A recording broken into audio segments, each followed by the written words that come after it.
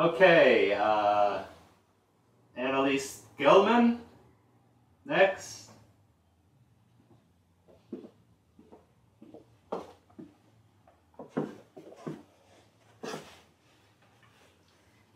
And you're auditioning for?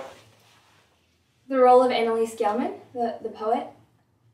Okay, uh, sh show us what you got. Ars Poetica. A fireman puts out fires, an artist puts out artist statements. Hello, my name is Annelyse. I've crystallized myself in the liberal arts and now emerge grotesque insect, able to do nothing but talk about everything. I know the precise temperature at which paper ignites. I read a book about it. Then I ate the book.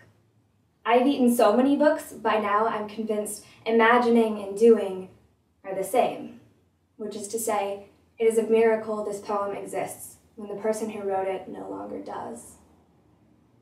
I read in the Book of Miracles how sometimes some residue transfers from one encounter to the next, one quality shared between poetry and pink eye. Originally, this poem was called Are You Serious? And the body was just the word no, like 500 times.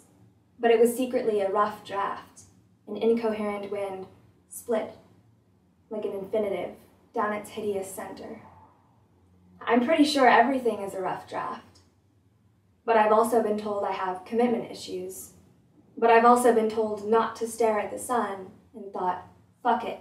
Why stare at anything that doesn't blind you? Which is why I am a poet, but also why I wear glasses. That's a nice detail. It's easy to imagine. But 451 degrees, how can you imagine that? Other facts I cannot picture in my mind.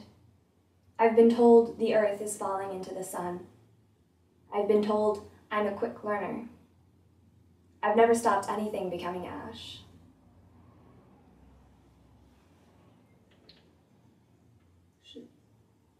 Okay, thank you. We'll get in touch.